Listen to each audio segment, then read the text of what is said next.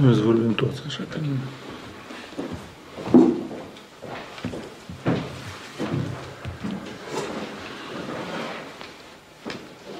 Putem începe, da?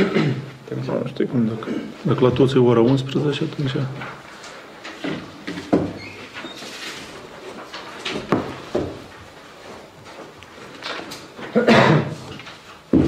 Putem începe, da? Bună ziua, stimați reprezentanți mass media. Vreau în primul rând să vă mulțumesc că ați dat curs uh, invitației noastre. Sunt uh, Iurie Anastas, unul din proprietarii carierei de Piatra Ivanos de la Orhei. Dați-mi voie să vă prezint colegii. Vitalie Gore, administrator carieră, Eugen Bejenaru, avocat. Ne-am adunat ca să vă prezint adevărul despre litigiul cu Consiliul orașului Orhei, care vrea să preia, preia forțat cariera. Ne aflăm într-un litigiu cu administrația publică locală din Orhei, conflict care a apărut anul trecut, după ce am refuzat să livrăm gratuit primăriei Petriș pentru reparația drumurilor din Orhei și a pistei de la aeroport, concesionat unei firme care ar aparține primarului localității Lanșor. Aici vă prezint, acesta este demersul prin care ni s-a cerut să dăm uh, materie primă benevol, imparțial și necondiționat. O formulare Conflictul a ajuns în uh, instanța de judecată, unde Consiliul Orășenesc a cerut stoparea activității carierii și preluarea acesteia. S-a invocat faptul că noi activăm ilegal, nu achităm impozite în bugetul local și nu achităm pentru folosirea terenului.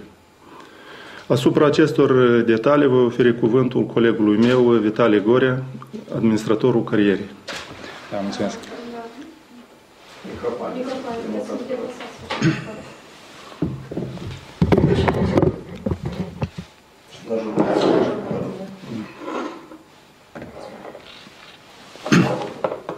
O să ne mutăm către vorbitor permanent, da? Da. Da.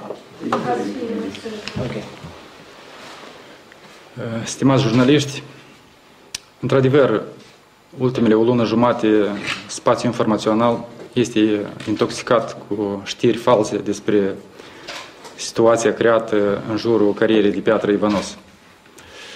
Acest lucru este făcut atât de către reprezentanții autorităților publice locale de la Orhei, cât și de către unele mijloace de informare în masă care sunt loiale primarului de Orhei. Una din învinuirile care frecvent ne sunt aduse nouă că noi chipurile am fi activat uh, ilegal și uh, nu am fi, fi avut toate actele necesare pentru activitatea noastră. Noi acum o să dezmințim toate aceste afirmații, vă prezentându-vă probele de rigoare. Așadar, cariera Ivanos și-a reluat activitatea de extragere a zăcămintelor minerale utile la Orhei în anul 2011, în temeiul licenței, eu vă demonstrez, eliberată de către Camera de Licențiere. Aici aș deschide o paranteză să vă spun că activitatea de extragere a zăcămintelor minerale este strict reglementată în Republica Moldova. Agentul economic trebuie să dispună de un număr mare de acte permisive eliberate de mai multe autorități a statului, care sunt obținute până la obținerea licenței. Noi dispunem de toate aceste acte, avem încheiat un contract cu Ministerul Mediului, care este autoritatea publică centrală a statului în domeniu, anume Ministerul Mediului gestionează resursele naturale a statului Republica Moldova, inclusiv și zăcământul de piatră Ivanos de la Orhei.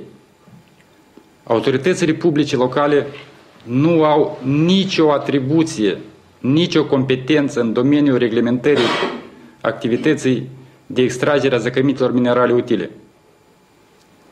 Și nu numai la Orhei.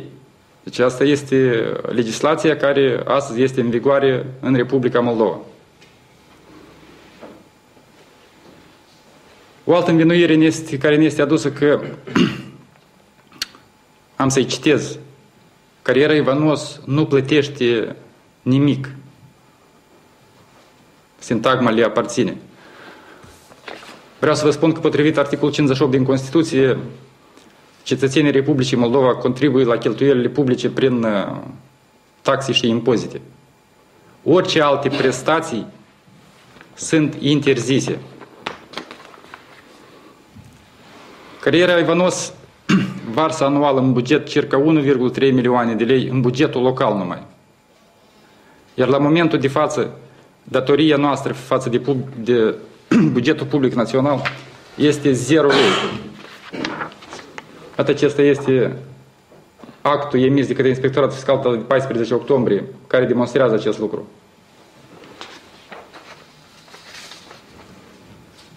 Îl aveți inerent la dosarele pe care, care v-au fost da. prezentate.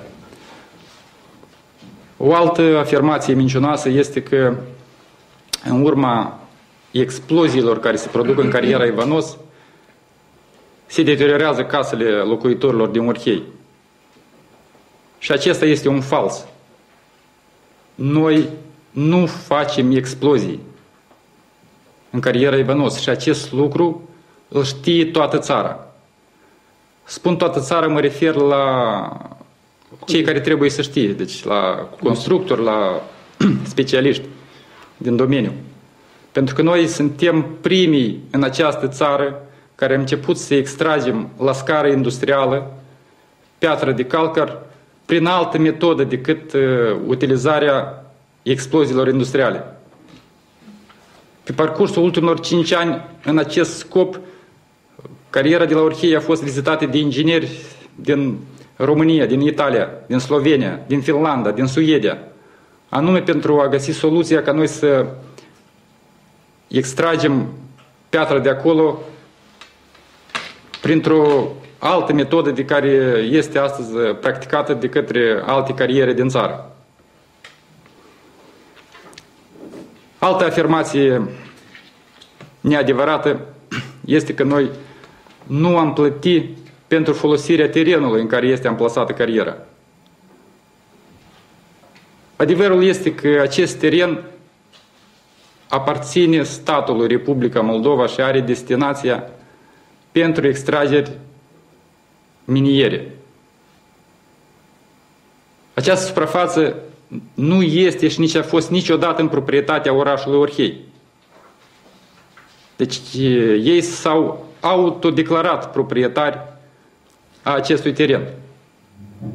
În realitate, el este proprietatea statului. Și potrivit articolul 34 din codul funciar, întreprinderile care exploatează zăcăminte minerale utile plătesc numai impozitul funciar. Alte plăți pentru utilizarea terenului nu sunt prevăzute. Situația de la Orhei legată de carieră ar fi comică, dacă n-ar fi tragică. De ce spun că ar fi comică? Mă refer la acele grupuri de oameni care sunt plătiți și aduși în mod organizat în fața curții de apel Chișinău pentru a scanda dați-ne cariera înapoi. Iar când spun că este tragică, mă refer la cei circa 80 de angajați ai noștri care riscă să-și piardă locurile de muncă. Și le-au pierdut. În, în situația când autoritățile statului nu își vor face datorii așa cum prevede legea. Mai detaliat despre litigiul care suntem implicați cu Consiliul Raional Orchei, ne va vorbi colegul Eugen Bejanaru, avocat. Da, vă mulțumesc. Facem, facem, da.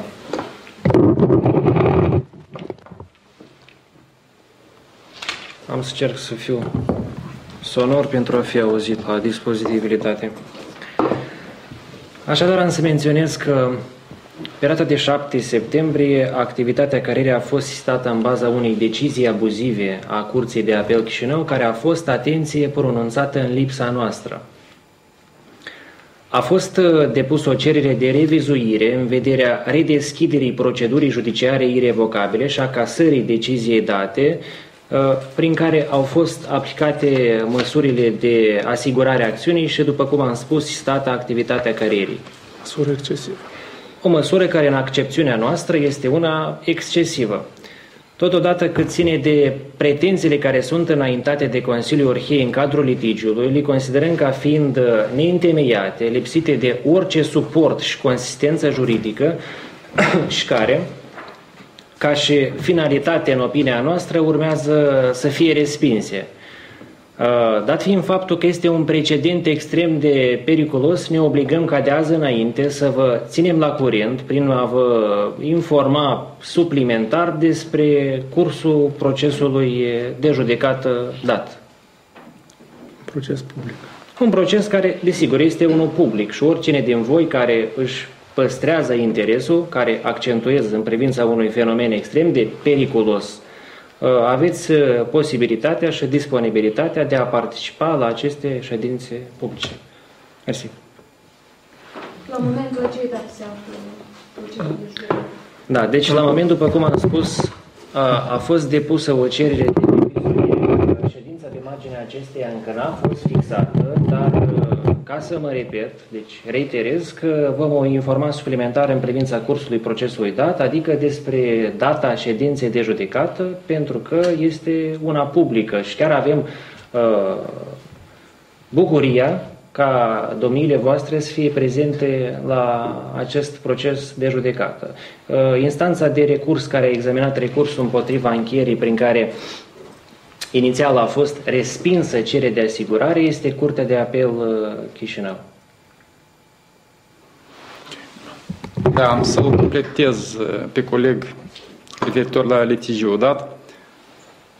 Desigur că mulți s-ar pune întrebarea, dar totuși uh, există un act a instanței de judecată, deci mă refer la Curtea de Apel Chișinău, prin care activitatea întreprinderii a fost stopată. Uh, vreau să vă spun că instanța de judecată a examinat foarte superficial materialele care sunt acolo. Consiliul uh, Raional Orhei uh, nu are nicio probă concludentă care ar motiva această decizie și faptul că instanța de judecată a admis mai multe încălcări de drept material cât și de drept procesual, pot să vă spun mai un lucru că în mod obligatoriu instanța verifică împuternicirile celui care se adresează în instanță. Pentru că cererea a fost semnată de un avocat, de un jurist, în uh, numele Consiliului. Păi închipuiți-vă că Instanța s-a, pronun, pronun, pronunțat pe 5 septembrie, pe când împuternicirile respectivului au fost eliberate abia pe 22 septembrie. Adică a semnatarului cererii din partea Consiliului Orhei. Deci pentru noi este foarte dubios că judecătorul n-a sesizat momentul ăsta când a examinat cererea lor. O discrepanță cronologică evidentă. În concluzie, vreau să menționăm faptul că autoritățile publice locale de la Orhei operează numai cu falsuri, dezinformează opinia publică și acțiunile lor sunt de fapt o, o, un atac rider asupra întreprinderii noastre, Spun un atac rider în uh, definiția dată de către autorii uh, ruși a acestui termen și nu acelui american.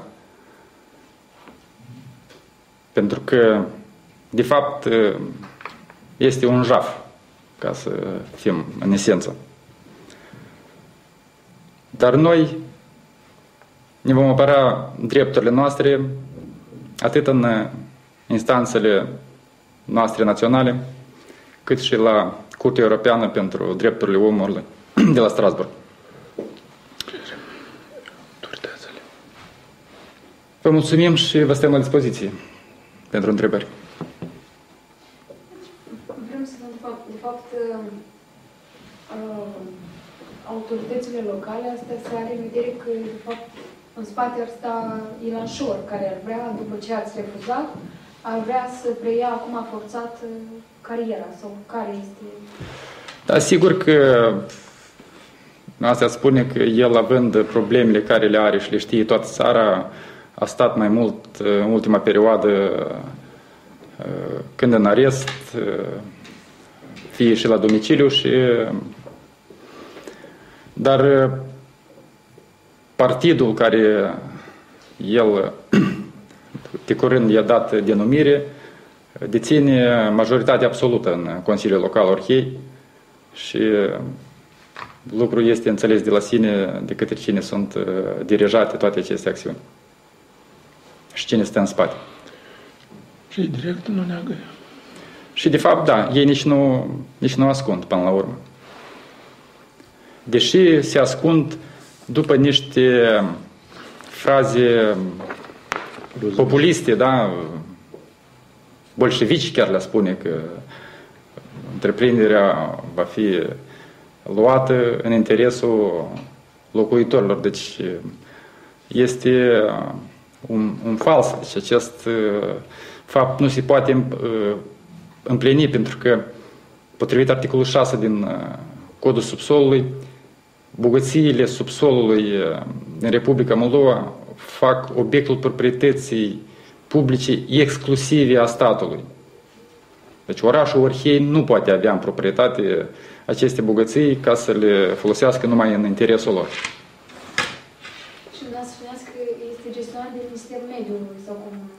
Exact. Anume, Ministerul Mediului este autoritatea centrală de specialitate a statului care gestionează resursele naturale. Dar ei spuneau că inițial acest lot de pământ a fost luat pentru un arendă pentru a crește, pentru agricultură. Foarte. Stimați ziariști, deci, cariera Ivanos are o istorie de 50 de ani. Deci zăcământul dat la scară industrială a început să fie exploatat încă în anul 1965. Și până în anul 1990 acolo s-au extras cantități foarte mari de piatră, deci de ordinul zecilor de milioane de tone. Deci ceea ce extragem noi acum, deci este numai, spunem așa, partea de la urmă a acestui zăcământ, pentru că ea se află în imediată proximitate a orașului și, într-adevăr, în acea perioadă așa era progresul tehnic în țara noastră, nu erau alte metode, nu se cunoșteau pentru a extrage și în momentul de față, deci noi găsind această soluție, facem de fapt un lucru foarte bun, pentru că asta permite ca secământul să fie extras cât mai mult posibil. Deci, și acest lucru este benefic pentru economia națională. Dar cum se extrage? Ori secret? Nu este secret. Vă spun că cunoaște toată țara de se extrage prin folosirea uh, ciocanelor hidraulice. Deci pe cele care dumneavoastră le-ați văzut prin oraș care uh, dezbat uh, niște betoane acolo sau asfaltul, numai că este sunt uh, un pic mai mari, așa ca să zic. Și această decizie a Curții de Apel care și-a menținut săptămâna trecută sau cealaltă săptămână când și-a menținut uh, de, de da, în 12 octombrie. Activitatea, cum o calificați? Credeți că o calificăm ca abuzivă, deci și excesivă pentru că să stopeze activitatea unei întreprinderi, numai în cazul nostru, în genere, în practica judiciară. Deci este un lucru extraordinar de rar.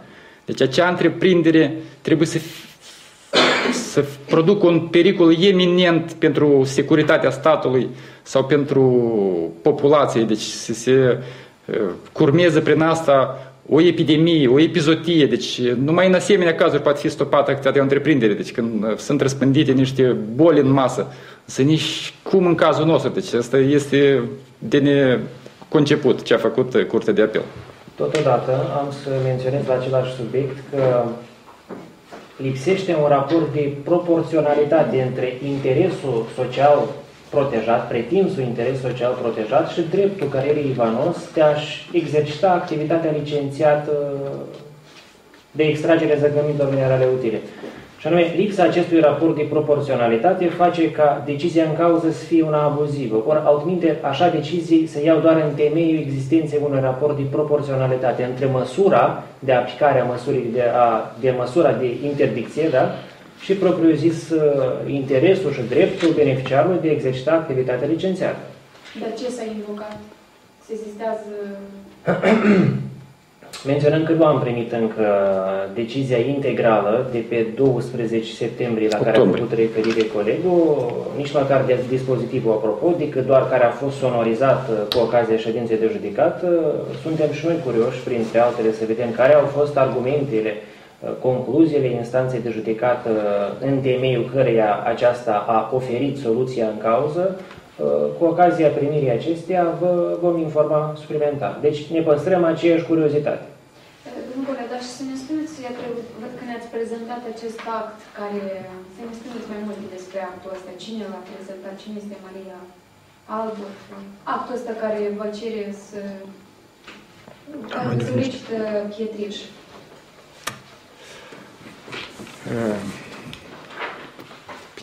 Eu nu cunosc cine este Maria Albut, decât am văzut că a semnat uh, scrisoarea aceasta și acolo este indicat că ar fi președinta unei uh, organizații necomerciale cu denumirea Pentru Orhei. Uh, bănuiesc că toate acestea proiecte demarate de către Ilan Șor la Orhei sunt finanțate anume prin uh, această asociație pentru că dacă ar fi folosiți uh, bani bugetari, în primul rând, eu cred că e acolo nu sunt chiar atât de mulți. Doi, uh, procedura de achiziție a unor servicii și mărfuri sau lucrări este una iarăși strict reglementat și e probabil că au găsit așa o, o ușiță pentru a ocoli legea și aș demara proiectele sale de mult trâmbițate la orchei. Deci, Dumneavoastră ce răspuns i-ați dat atunci? Nu i-am dat niciun răspuns. Deci nu a venit personal. Doamna, vă dați seama, vin uh, executorii lucrărilor cu asemenea scrisoare la carieră, uh, care noi uh, ne-am făcut o copie și i-am întors-o înapoi și i-am spus că noi nu facem binefaceri. Da, ați înțeles cum credeți ce înseamnă asta? A acorda benevol, imparțial și necondiționat pe triș. Cum, cum înțelegeți aceste... Trebuie adresată lor. Păi, mi-e greu, da, bănuiesc că grătuit. Nu știu ce am putea altceva înțelege din... Uh, dar dumneavoastră spuneați că și pentru pista de la aeroport, dar aici nu scrie că pentru pista de la aeroport. Uh, la întrebarea dată o să vă răspund. Um, eu personal am fost uh, invitat de către Ilan Șor în cabinetul dumnealui la primărie, în care am avut o discuție îndată după ce dumnealui s-a uh, a devenit uh, primar, în care toate aceste solicitări au fost expuse la întâlnirea noastră care a avut loc în luna... Sfârșitul lunii iulie. Sfârșitul lunii iulie. 2015. 2015, da. La care ne s-a sugerat că noi trebuie să contribuim pentru anumite proiecte sau anumite proiecte pentru, așa numitele pentru orhei. Și cu asta noi ne-am despărțit, după care deja consecințele, noi nu am dat curs acestei rugăminți, de la ce și-au pornit aceste, toate aceste litigii. Ei spuneau, cei de la aeroport spuneau că petrișul de la cariera Ivanos este de proastă calitate, că e aduc de un petriș deosebit de la Soroca. Da, am să vă răspund. Ei uh, v-au răspuns... uh, Pinte la care... Da, un... m- Au manipulat, de fapt, pentru că uh, Pietrișul de la Orhei uh, stratul stabil. merge pentru stratul de bază, pentru fundație. Pe Când în straturile superioare, într-adevăr, nu numai la aeroport, dar și pe traseele naționale sunt făcut din granit. Și asta e recomandarea, deci pentru toată lumea, nu numai pentru Republica Moldova. Dar vreau să vă menționez că noi de când am uh, reluat activitatea acolo, am fost printre principalii furnizori pentru stratul uh, de bază a așa obiecte ca Chișinău-Hâncești, Sărăteni Chișinău, uh, Sărăteni Peresecina și uh, Sărăteni Ghindești.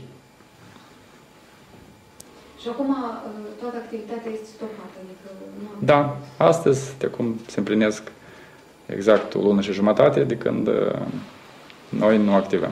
Ne-am Muncitorii au conformat. fost, au fost deja eliberați sau nu? Nu. Nu, deci se află în uh, concedii. Uh, La noi așa e specificul că la sezon nu prea acordăm uh, concedii, pentru că acum este nevoie de um, materie primă și concediile se acordă de regulă în perioadele nefavorabile lucrărilor de construcție, perioadele anului am în vedere. Anul ăsta a fost o excepție uh, urmare a acestor evenimente și uh, oamenii și-au uh, luat concediile, dar uh, se termină în curând. Și... Aveți prejudicii, compania are prejudiciu pentru faptul că nu muncește în acest moment. Inevitabil uh, avem uh, noi prejudicii, au uh, prejudicii uh, salariații. Eu vreau să vă spun că uh, un muncitor calificat care muncește în cariera Ivanos are, nu are un salariu de neglijat. Deci salariul anual mediu depășește 120.000 de lei. Pentru ei uh, a fost uh, stupefiant să audă că noi nu plătim careva taxe, pentru că uh, numai din salariile lor în uh, bugetul local și în bugetul asigurărilor sociale uh, se duc uh, cam vreo 440 de mii anual. Așa, ca o cifră de referință. Și dumneavoastră ați depus recurs, urmează când să fie următoarea ședință? Da, deci am să accentuez, a fost depusă o cerere de revizuire în privința aceleași încheieri irrevocabile din 5 septembrie, prin care a fost uh, impusă, abuziv desigur, după cum am menționat, interdicția de a exercita activitate și de a transporta toate zăcămintele care deja au fost extrase, dar n-au fost extra, exportate de acolo. Uh, Data pentru examinarea cererii de revizuire n-a fost stabilită, suntem și noi în expectativă, adică așteptăm. Sperăm totodată că va fi cât de curând posibil, dar fiindcă prejudiciile sunt incomensurate. Uh, Însă, dar cum calificați pe faptul că domnul Șor v-a chemat, e donat gratuit? uh, Cum calificați această atitudine? Ar fi vrut domnul Șor să-și facă popularitate pe seama unor agenți economici sau ce ar fi?